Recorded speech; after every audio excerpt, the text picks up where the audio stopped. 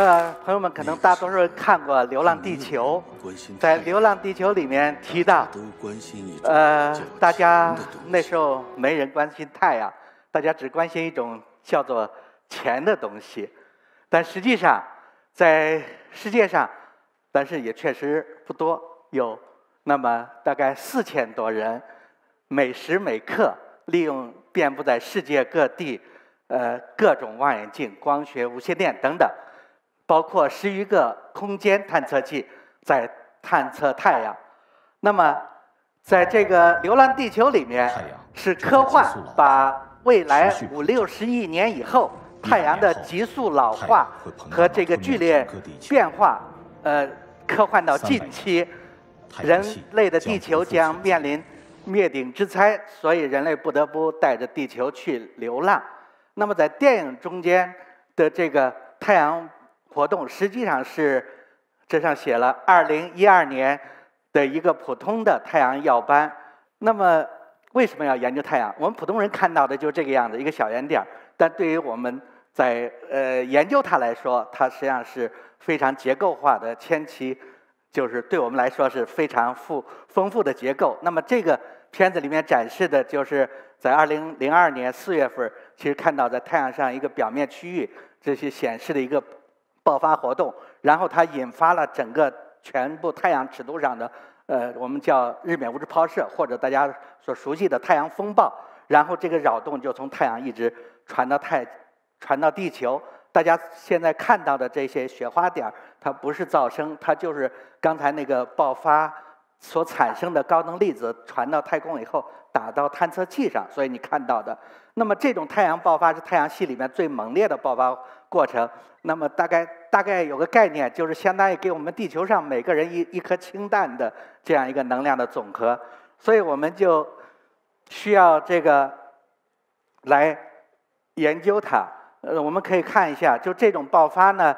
就是能对日地环境产生扰动。所以你看到在太阳表面上只是局部的一个扰动，但是它会在。不同的时间尺度上，比如说辐射增强，那就光八分钟就传到地球。那么一些高刚才显示的高能粒子，可能三分之一光速，大概就是半小时左右就到地球。还有现在看到这些普通物质，可能就是慢一点，那么就会半天，快的半天，慢的三五天也会到地球。那么就会影响我们地球的环境。所以最后大家看到的这个两极漂亮的极光，其实是太阳活动的影响。那么这些。活动呢，就会，呃，因为太阳离我们最近的恒星了，所以它这个活动就会影响，必然影响我们人类的空间环境，呃，然后就是对于天上，我们现在大家知道航天器，所以航天还有航空，通过急区的飞行以及通讯、导航等等，那么甚至这大家想象这些都是影响天上的，其实对地面也会有影响，对这些长距离的电网的通讯。和电网的这个运行和这个长距离的这个石油管道的输运都会带来严重的影响，所以这些都有实际的例子，就是影响，比如说，呃，八九年影响了魁北克六百万人口，就是让他们停电。那么太阳爆发，我刚才提到它有这种就快的这和和这些高能粒子以及普通物质的传输，所以它就就带来一系列问题，我们就会来关心，就是这些爆发为什么会产生。还有呢，就是这些呃，它的规律是什么样的？还有高能粒子怎么加速等等。另外，我们大家可以听说过，就太阳有个大概十一年的活动周，就是活动周强的时候，刚才说的这些现象，大概一天三五次。那么在这种慢的时候，可能三五天一次。所以这些呢，这个周期到底为什么这样变？还有它是怎么就是作为长期和短期影响我们地球环境？所以它们联合在一起都是这是我们要关心的这些科学问题。那么我们知道光学太阳光很强了，所以大家都知道反差，比如你看到前光，别的都看不见。所以光学通常就只能反映太阳附近的信息。那么对于看不见的地方，其实肉眼看不见。但是实际上，就是说它这些爆发活动、扰动都传过来，那就是在无线电波段，我们能够探测到它。所以这个呢，就是呃，这是个示意图，可能专业点儿，但大概意思就是说，太阳爆发的时候，如果在无线电频段，一般是在分米波段，也就是几百兆的这个范围内，然后迅速可以看到，在这个刚才说的时间尺度上往两边扩展。那么低频就是冲着地球方向过来，就是可能频率一直降到几十千赫兹。那么高频打到太阳表面，那就是大家也许听说过的太赫兹或者亚毫米波，就是往下走。但是我们当然就是刚才说了，光学你一般只能看到太阳表面的东西。我们希望看到它的整个爆发过程。但是对于无线电波段来说，成像观测并不是容易的事儿。所以现有的设备呢，呃，是只有少量几个频点。比如法国是在米波段，我们说的是呃厘米。呃，好呃米波段就是一百五十兆到四百五十兆波段，然后俄罗斯有一个设备在五点七吉赫，就是又对于太阳来说又比较低，还有日本是十七和三十四吉赫，又是更靠近太阳表面。所以我们刚才讲了，我们现在研究发现它是刚才讲的对应这这个几百兆赫到京赫这个范围，也就手机那个频率范围，但正好对这个频率呢，就是观测是个空白，所以我们就需要有这样一个设备在所有的。方面都来成像，来个能够来了解它爆发的这个起源。那么这是刚才展示的那个爆发过程。那么我们国内的望远镜来看到的，在无线电波段看到的这种非常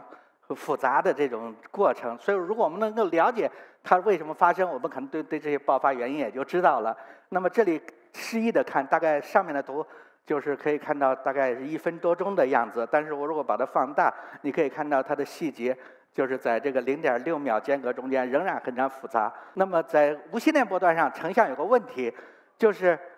望远镜是世界上最大的，也就一百米量级，因为再大地球就撑不住，它就就垮了，所以就大概就一百米量级。但是我们知道，就是分辨率，我们一般就是说是工作波长除上口径。那么世界上最大的单口径，也就是刚才说一米两呃一百米量级。那么通常它的分辨率还不如我们人眼。人眼我们可以说我们可见光工作波长五百纳米，瞳孔五毫米。所以你这样分，我们说我们人，你看我看你的分辨本率大概是万分之一。但是我们看世界上最大的望远镜射电望远镜，呃这个分辨本领也大概只是百分之一到万分之一。所以无线电波段我怎么来提高分辨率呢？你只有刚才说你如果再大就塌了，所以只能是把望远镜做口径做大，那你实际又做不大，所以我们就可以做想象一个大望远镜，然后把这些小望远镜给它的信号结合起来，那么这时候你就起到这个效果。大家可能前一段提看到的这个呃拍黑洞的照片，就是用同样的原理震，所以这就是我们建设的这样一个望远镜，我们经历了。十年的历程，因为也要选这些好的环境，所以在内蒙古。那么这里在冬天的时候是零下三十多度。那么这十余年里面，我和我们的同伴们，所以尽管是零下三十来度，大家可以穿衬衣在外面，乐在其中。那么这是谷歌地图上大家可以看到，就是这个望远镜有一百个天线建到那里。其实，在建设中间，这些科学杂志就曾经报道我们的。进展，他也在那里说说我们中国正在建设一双地球的新耳朵，在聆听我们最近的恒星，也就是太阳。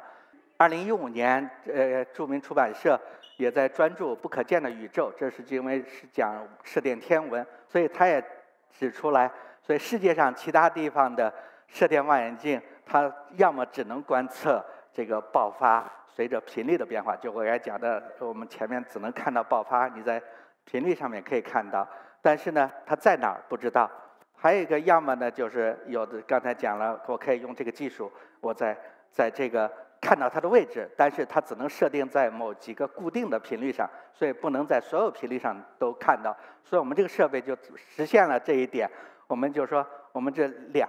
个方面都能做到。我们既看到它随着频率变化。刚才说就就能捕捉它整个变化过程。我们同时呢，每个频段上面